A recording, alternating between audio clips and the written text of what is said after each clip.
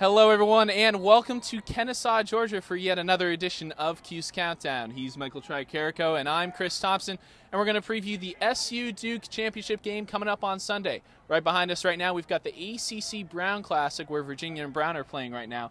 But let's focus on Syracuse for a little bit. What was your biggest takeaway from their win yesterday? Well, I think it has to be the Syracuse defense. I mean, the Orange only allows seven goals to one of the top offenses in the country in North Carolina. Syracuse, the defense, middle of the year, it looked like they weren't even going to be able to get a stop at all. But the defense has really come along. Putting Evan Molloy in goal has, has been magical for the Syracuse defense. He communicates really well, and he's making a lot of really good saves. He's seeing the ball extremely well in net, making 14 saves against North Carolina. You can't ask for much more out of your goalkeeper, and the Syracuse defense, really as an entire unit, has come along and is playing its best lacrosse at the right time. Yeah, Michael, you touched on it. It seemed like that change in goalkeeper when they switched from Warren Hill to Evan Molloy. It seemed like that was the catalyst for this entire season. Yeah, absolutely. I mean, not only is Evan Molloy making those saves and, and communicating well, but he's providing that spark that Coach John Desko was looking for. Brandon Mullins, who's a senior on this team, really spoke to that.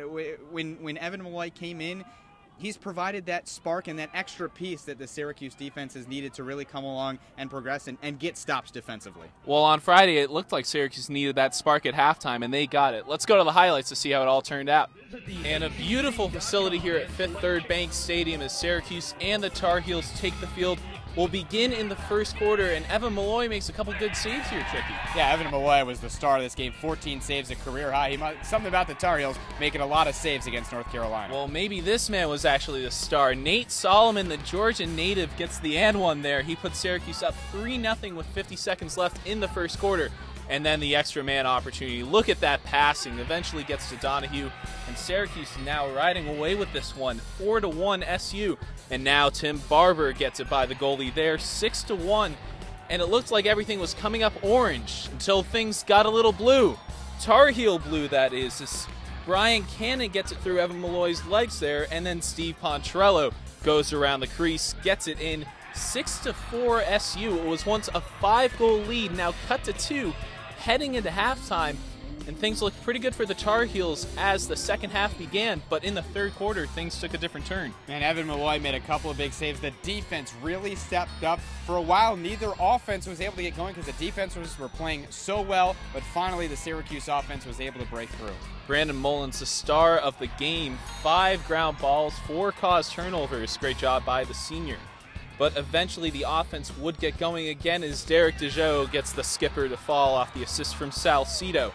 And then finally, Nate Solomon, he gets that second goal, and SU would go on to win 10 to 7. It would be a 9 to 4 game after that goal. But Solomon, DeJoe, and Jordan Evans all had two goals in the win. And here's what Coach John Desko had to say after this one.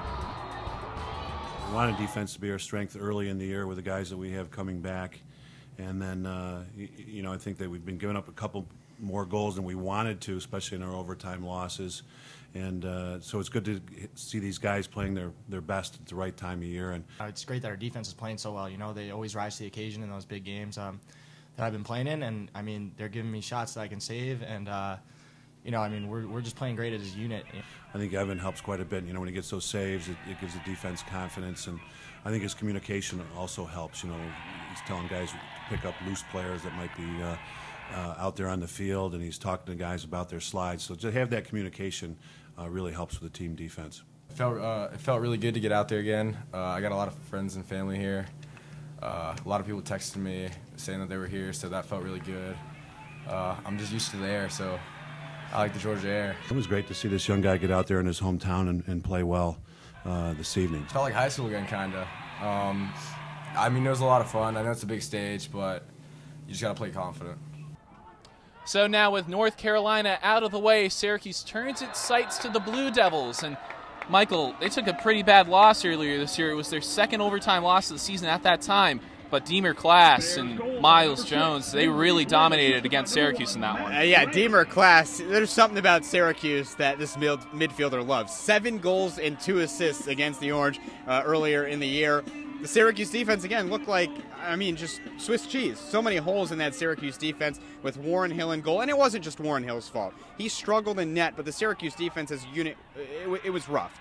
But now the defense has come along. Evan Molloy is playing his best lacrosse. We talked about the rest of the defense as a unit playing their best lacrosse. I don't expect Deemer Class to get seven goals. He'll probably get his. He'll get two or three, but he won't get seven. I think the Syracuse defense will really concentrate on him. But what the Orange doesn't want to do is open other things up for a player like a Myles Jones or Justin Guterding in the attack. Well, hopefully the Orange will have more success against that strong attack group from the Blue Devils. Michael, what is your X factor for Sunday's game?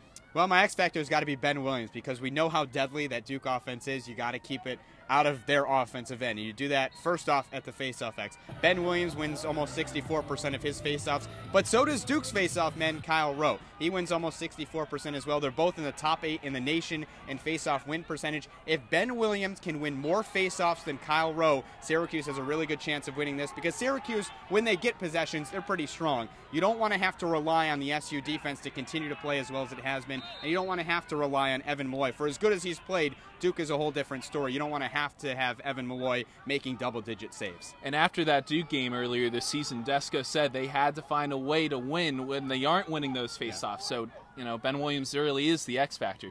So, obviously, we've done a lot of previewing for this one. What is your final prediction? What's the final score? Syracuse is playing its best lacrosse at the right time. I think the Orange will take home its second straight ACC championship, 13 to 11. I have over Duke. I think Ben Williams will be just good enough at the faceoff X. Even the ones he doesn't win, I think the Syracuse defense is playing spectacular with Evan Molloy in goal. And then those saves and the defensive stops will turn into goals on the opposite end for the Syracuse offense. Look for a big game from Dylan Donahue. This is his last ACC tournament. He wants to lead the Syracuse team into a deep run in May. So I think Dylan Donahue can have a big game as well. 13 to 11. I think the Orange can beat the, the Blue Devils. Well, hopefully the Orange defense is playing better than Virginia's. It is not going well for the Cavaliers behind us right now. One of the top offenses, Brown, uh, 17 goals per game. A possible first round matchup between Brown and Syracuse. Maybe something to pay attention to. You do not want to face Dylan Molloy, a possible Tewaaraton winner. Oh, he's the favorite for now. Yep. Well, the favorite for now for you is Syracuse for tomorrow, but we'll see how it goes tomorrow.